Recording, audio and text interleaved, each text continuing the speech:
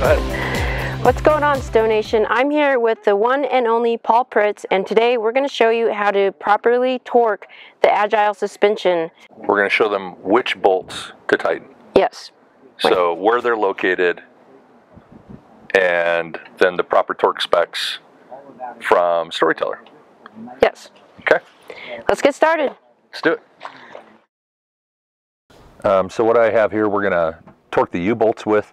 Uh, this is a half inch uh, torque wrench. Um, if you haven't used a torque wrench before, I'm sure there's some YouTube videos you can watch online to figure it out.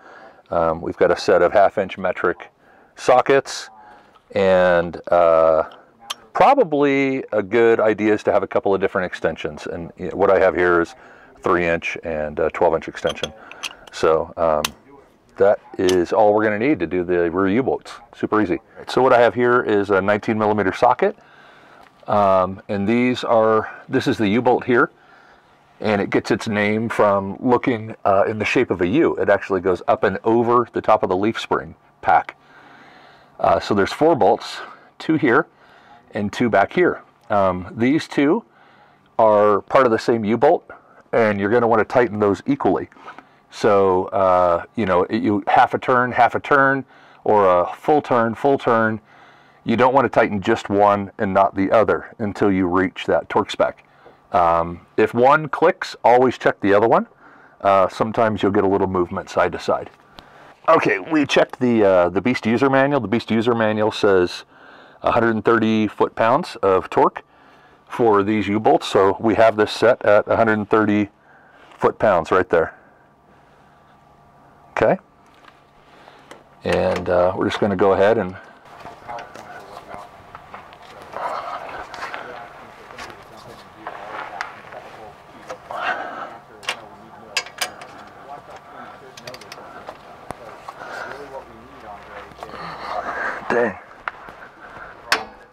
Okay, so that is that is tight right there. Do the same thing on this one. Tight. So that's what you're looking for is that clicking sound. We're going to move to the front side of the U-bolt. So that one's perfect. No adjustment needed there. We'll check the other side really quick. No adjustment needed. So this side was in good shape. Looking good there. We're going to move to the other side. And again, you want to do front and rear. Oh, we are getting a little movement out of this one. Not much though. I don't have very good leverage here.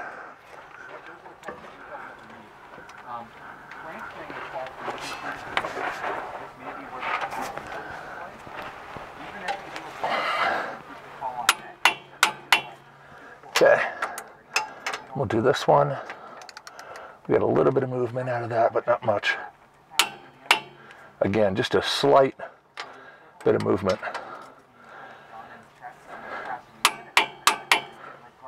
That one's good.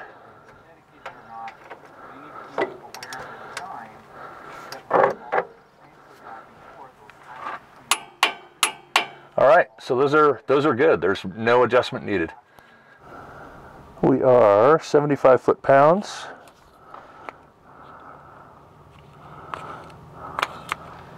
And what adjustment is this called again? This is for the lower shock bolt. Here. So what you're going to want to do is have a wrench on the other side. You may need a friend or a helper, um, especially if this lower shock mount, uh, and if the wrench doesn't work, you may want to use a longer breaker bar with a socket on this side to hold it together while you're torquing this one, um, because this is very difficult to do with a smaller wrench. That's it. Um, we have the front strut that we're going to check, and we're going to check the uh, we're going to check the top bolt for the uh, rear shock as well.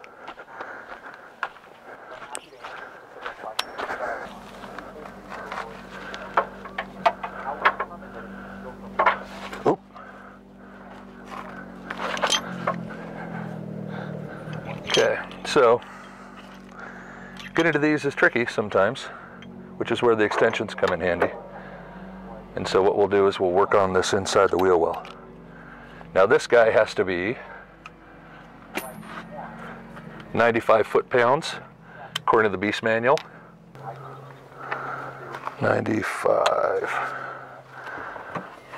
Let's see if we can get this one on here. We may have to use the shorter extension.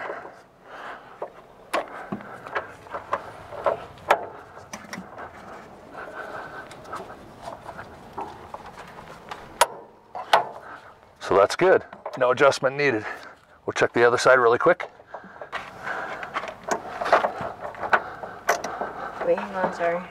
Oh, you're good. There, okay, there we go. Uh, I- I'm gonna need to get over there to get leverage. Yep. Good.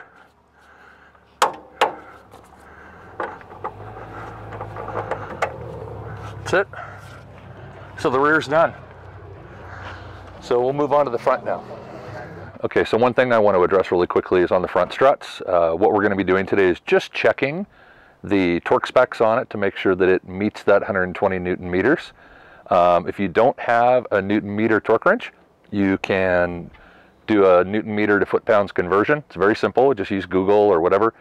And um, again, we're not doing the 120 degrees. The additional 120 degrees rotation on the nut, we're just checking to ensure that it's secure and tight. Um, that's all we're going to be doing today. But There's not a single. That's the upper shock bolt Twenty-four thousand calls or the upper strut, so we need to identify Bolt. And you can get access around the brake caliper.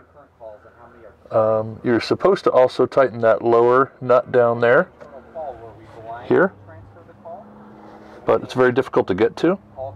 So I've been checking the other side on my van. So we'll just check this side really quickly.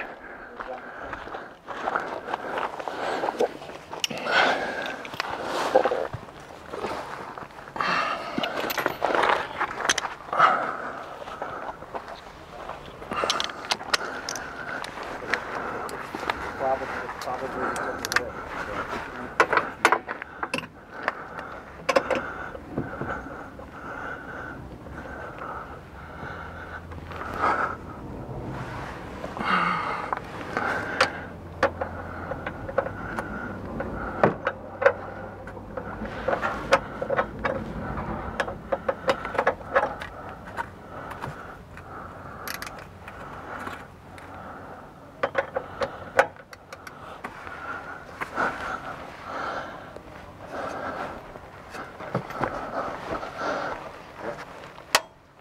Good.